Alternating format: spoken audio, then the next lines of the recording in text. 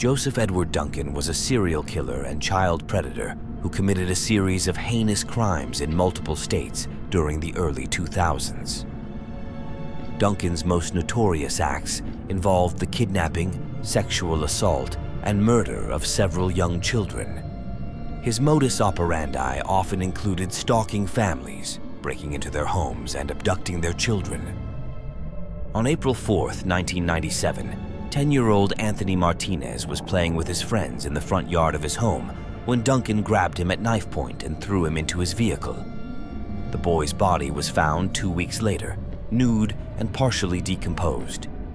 Investigators noted that he had been sexually assaulted and bound with duct tape. One of Duncan's most infamous crimes occurred in 2005 when he kidnapped Dylan and Shasta Groene from their home in Idaho after murdering their older brother, mother, and her boyfriend.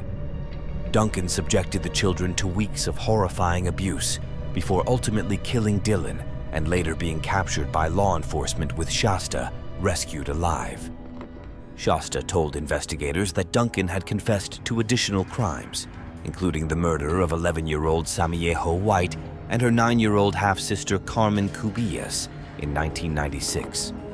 Their skeletal remains were found on February 10, 1998. Duncan admitted to beating them to death.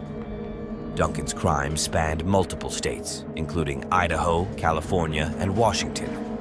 He was arrested in July 2005 in Coeur d'Alene, Idaho, at the age of 42 after a nationwide manhunt.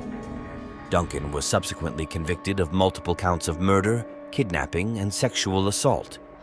He was sentenced to death and ultimately died in prison in 2021.